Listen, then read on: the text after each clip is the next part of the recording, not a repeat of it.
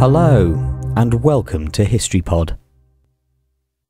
On the 18th of November 1916, the Battle of the Somme ended when German troops retired from the final large British attack at the Battle of the Ancre amid worsening weather. Field Marshal Sir Douglas Haig called a halt to the Somme operation, claiming the offensive to have been successful.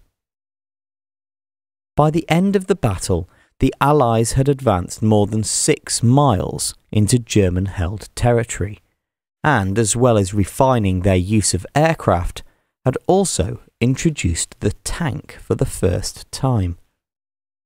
In his dispatch from the front, Haig stated at the end of the battle that Verdun had been relieved, the main German forces had been held on the Western Front, and the enemy's strength had been very considerably worn down. He then went on to say that any one of these three results is in itself sufficient to justify the Somme battle. However, the Somme offensive and its enormous number of casualties that totalled more than a million men on both sides has drawn criticism ever since.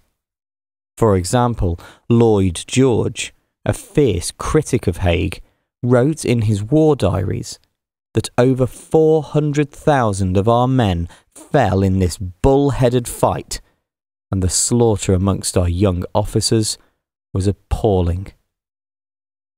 German losses were also significant, however, and some historians have since claimed that the battle left Germany unable to replace its casualties like for like, which ultimately contributed to their defeat through a war of attrition. However, it was to be another two years before the war did finally end, after Germany signed the Armistice of Compiègne on the 11th of November 1918.